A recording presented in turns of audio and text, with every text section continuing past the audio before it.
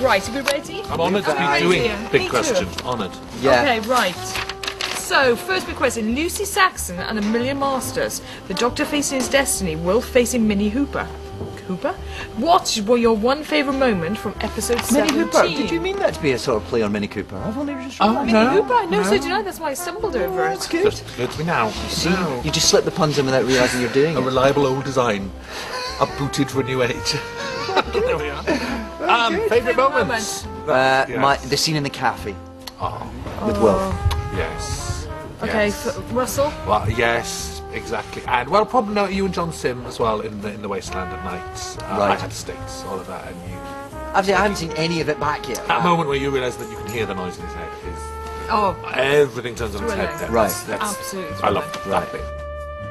Yes. Right. My favourite moment is when you first see the Master in the Wasteland. So the kind of the scale of it, and you're running looking for him, and you see him at a distance, and he's banging. Next question. Oh dear, what's in there? Somebody's been nicking bits off the tunnels. Oh, Um, right, big question. big question in this big envelope. That's very dramatic. Yeah, you got to do that. You got to chuck them away. How would you describe the development of these? Are hard. When I last did this, it was what's your favourite colour? Who? How would you describe the development of Wilf and his relationship with the Doctor? Well, this is after this is episode after 17. so we can't We really can't tell you what the ultimate afraid. There's a lot more to Well, come There's and a a lot more huge amount more to come. personal stuff. That comment, Yeah. what they are to each other, is Yeah. on its way. So we're going to not answer. We're going to say tight, Yeah. just fairly tight-lipped about the development We of are. Wilf.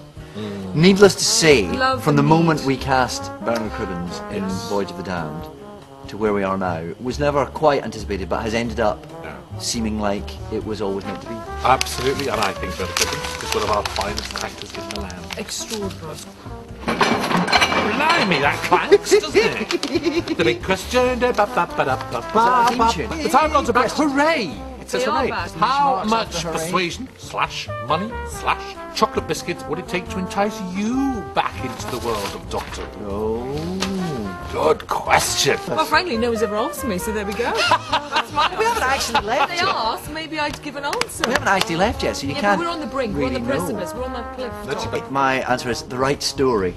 Oh. Yeah, that's boring. You but, will know. be asked though, because you'll have the 15 doctors, the 25 doctors. 2013, I guess, is the is the next anniversary, isn't it? And I think, am I right in thinking in 2013 that the anniversary, 23rd November, is on a Saturday? Doesn't It never is. I think so. Have you looked this up? Exactly, This is looking that up once. Pettifoss. I'm You like a looked it up. I'm a Oh, well, we've- we've angel. got We are weeping over thinking We've about got it. it. We get the planning starts here. Well, exactly. Next question. There's a bell in there. I like. I can hear a bell. I could make a That's Patrick quite good. Troughton reference. Do you want to do that No. reference? No. Moving on. Okay. Janka Bell. The final two episodes are full of secrets and mysteries. Oh, yes. Yes. Now you're leaving. Could you each give us a secret you can at last reveal? No! I've got a brilliant secret. Yeah.